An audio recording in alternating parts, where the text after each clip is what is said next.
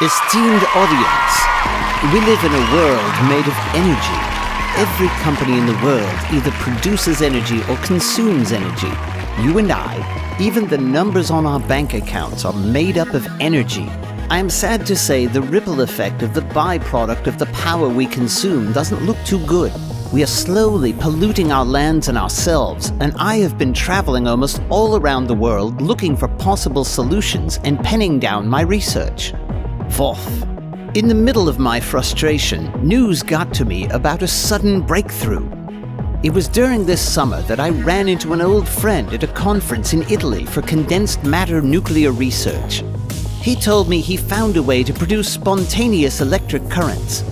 I was not hesitant to jump on the first available plane to visit his laboratory in Paris, France. Ladies and gentlemen, I present unto thee the fusion diode. This particular fusion diode is made from palladium and a semiconducting material enclosed into a special lathe machined aluminum casing.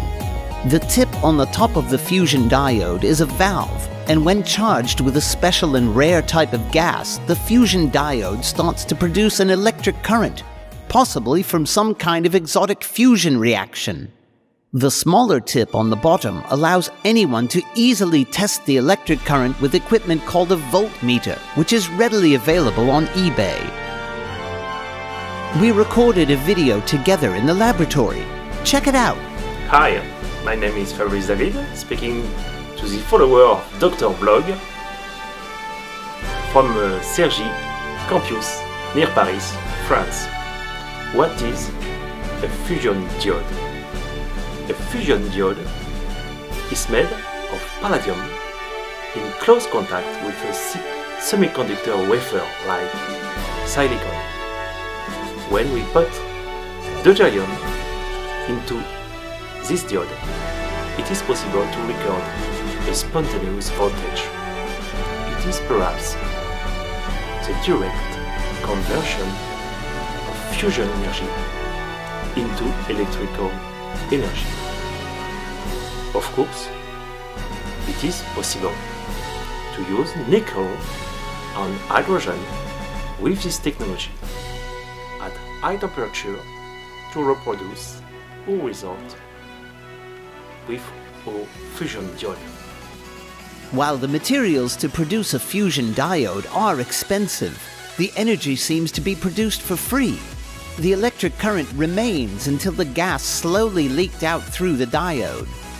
Today, a fusion diode produces only a small electric current, but utilizing other materials and scaling up the technology, this new venture could possibly change the world forever. Based on my instructions, the scientists have already started to work on a new improved version. For now, if further tested and validated, the value of fusion diodes are easy to test proofs that we have nudged science along. An incredible toy that could open up the floodgates all over the world to serious investments into alternative clean energy research. Obey me, Dr. Bob. Thank you all for listening. Please don't forget to like, share, and subscribe. And remember, information and technology can solve all our problems. Everything changes.